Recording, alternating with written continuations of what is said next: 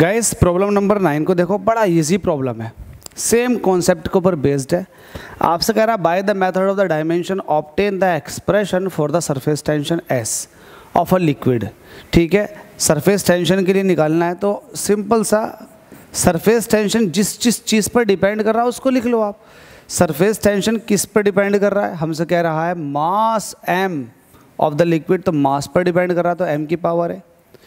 Pressure P of the liquid P पर depend कर रहा है।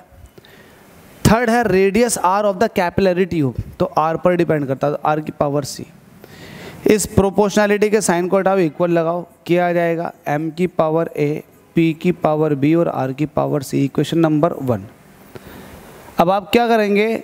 इतना करने के बाद आप डायमेंशन लिखेंगे दोनों तरफ़ की, उससे आप इक्वेट करके निकालेंगे वैल्यू तो आपको पता है ये सरफेस टेंशन है और सरफेस टेंशन क्या होता है? फोर्स पर यूनिट लेंथ इसकी डायमेंशन होती है एम टी माइनस का टू के डायमेंशन लेस है. एम जो है, ये आपको पता है, ये एम का एम ही होता है तो एम की पावर है. और प्रेशर होता है फोर्स अपॉन एरिया फोर्स की होती है M L T minus two और एरिया की होती है एल टू तो एक एल से एक एल कट जाएगा और ये एल ऊपर जाके M L minus one T minus two देगा.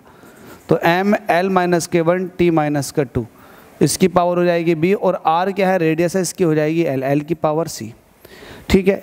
इसको सही करके मिलाकर लिख देते हैं एम टी माइनस का टू यहाँ देखेंगे एम यहाँ पर है तो एम यहाँ पर है, इसकी पावर ए है और यहाँ पर है बी तो ए प्लस बी हो जाएगा। तो एम हो गया। अब देखो एल एल की पावर कितना हो जाएगा? माइनस का बी यहाँ पर है और प्लस का सी यहाँ पर है तो माइनस के बी प्लस का सी एल की पावर अच्छा टी देखोगे तो टी की पावर माइनस का टू बी ये यहाँ पर है।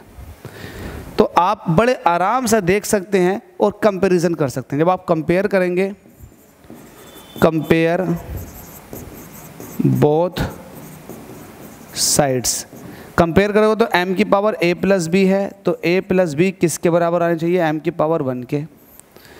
यहाँ देखेंगे l की पावर माइनस का v प्लस का c है, और यहाँ l है नहीं। ये फिर l की पावर ज़ीरो है।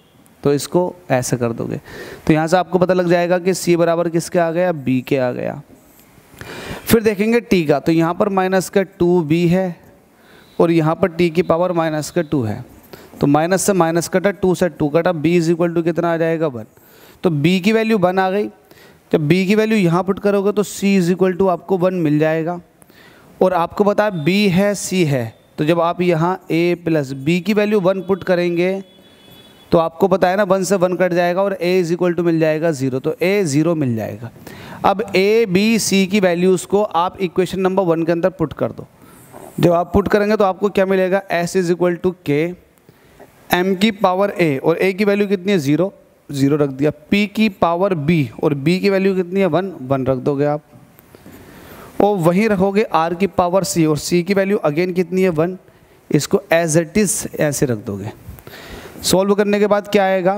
के यहाँ पर स्पेशली कह रखा कि के को आपको हाफ़ लेना तो इसको हाफ़ ले लेंगे। और किसी की पावर ज़ीरो का मतलब ये है वन तो ये ख़त्म हो जाएगा और यहाँ पर सिर्फ़ पी आर बचेगा। तो एस इज़ इक्वल टू आ गया P R divided by two surface tension का फॉर्मूला कैपिलरी के अंदर। तो यही आपसे पूछा था और यही इसका प्रूफ है। वो फॉर्मूला आपने ड्राइव कर लिया। S is equal to P R by two तो उम्मीद करता हूँ समझ में आ गया होगा। कुछ टफ नहीं है ईजी है। मेरे थ्रू करते चले जाओ, सारे क्वेश्चन लगवा दूँ आपको। इलेवंथ और ट्वेल्थ दोनों के। Thank you so much